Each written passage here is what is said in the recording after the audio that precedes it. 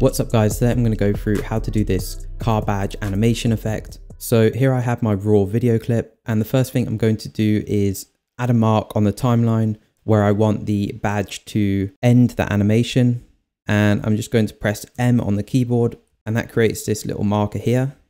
So now I'm going to duplicate the video clip holding Alt on my keyboard and then just clicking and dragging and then I'm going to create a freeze frame on this marker on the top video clip. So I'm going to hold down shift and press H. That will create this hold frame. So now I'm going to drag the hold frame so that it starts at the beginning of the video clip and ends right there on the marker. So next step is to add a draw mask effect to this freeze frame. So I'm going to go over to my effects, go down to masks and add the draw mask effect onto this. And then I'm going to cut around the different sections on the badge. So I'm going to zoom in so that I can get a nice accurate mask. There's a slight shadow on this badge, so I'm going to include that into the mask. So I'm just going to click and add points. So once I've added the points on the mask, I'm just going to click and drag to select all of these points and then I'm going to right click on one of them and click smooth. So this will smooth out the mask. Now I'm going to copy and paste the freeze frame again. And on this layer, what I'm going to do is turn off the draw mask and add another one. And for this one, I'm going to cut out the circle portion of the badge and then select the points, right click and click smooth. So I'm going to copy and paste that layer again, turn off this mask and add another draw mask. And for this one, I'm going to cut out the right hand wing. And before I do that, I'm just going to rename, rename these video clips so that I know what is what. Otherwise it's going to get quite confusing.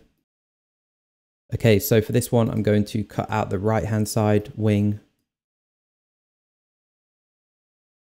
And, and for this last one, I'm just going to cut around the bits that I missed on the other masks.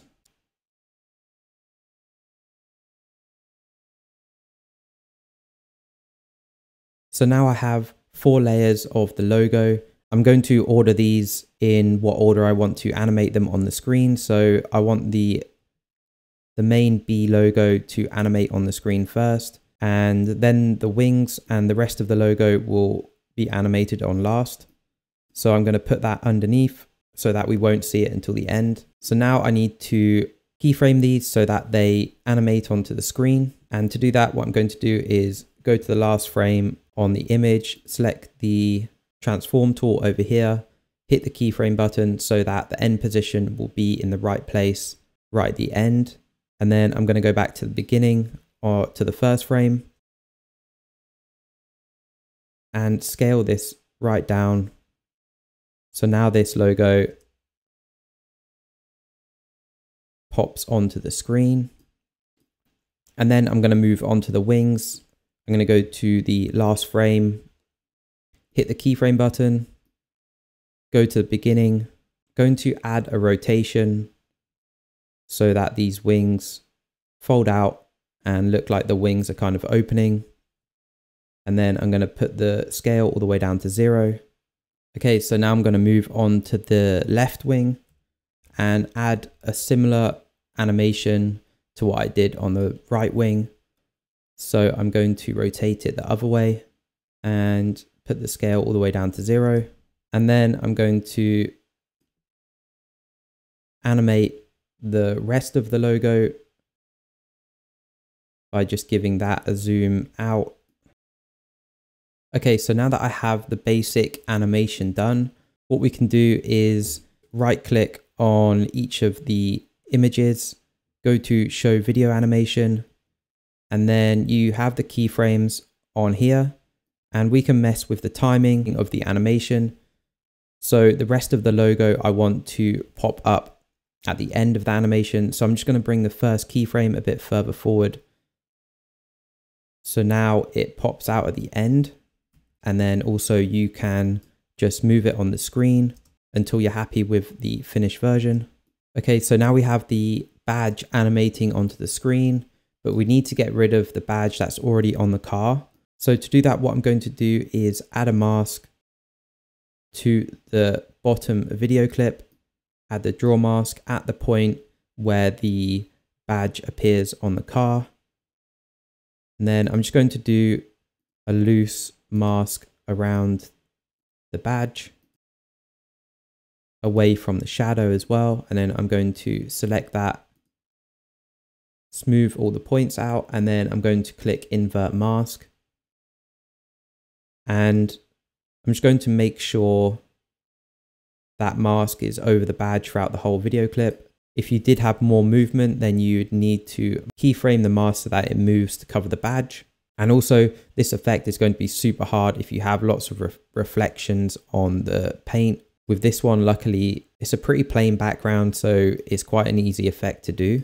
And then I'm also going to turn the feather up on the mask so that we can blend the layers together once I copy them. And then I'm going to copy and paste this layer of video clip and I'm going to go to the scale and on this bottom video clip, I'm going to make the scale smaller until I start noticing different areas of the video that I don't want to use. I'm going to copy and paste it again. And on this one, I'm actually going to get rid of the mask, increase the size of the video and just move it over so that we have this until I've filled in the black patch with the, the white color of the video clip.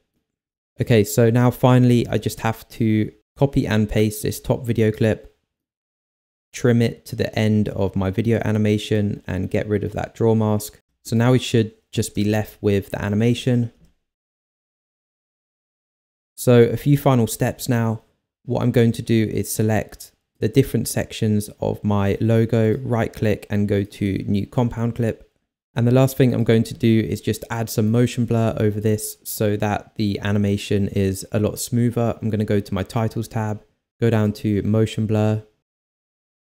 Just going to drag on some moderate motion blur.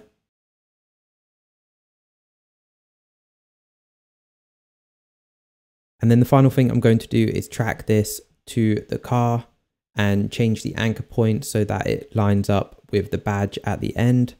And yeah, there we go. That is the finished effect. I hope you guys enjoyed this video and I'll see you in the next one.